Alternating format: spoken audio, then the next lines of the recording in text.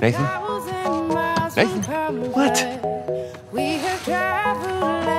Oh, yeah. Oh, what if it's the only thing holding the tunnel up? Then I'll apologize. All right.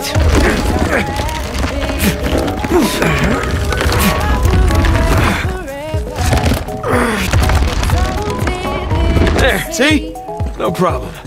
For once. There's a low ceiling here. Watch it. Ow! Watch my ah. Can it? Well, give it a give it a pull. What? Could be a trap. Already in there. What's the what's the worst that could happen? Uh, I lose my hand? So we'll get you a nice hook. Give it a pull.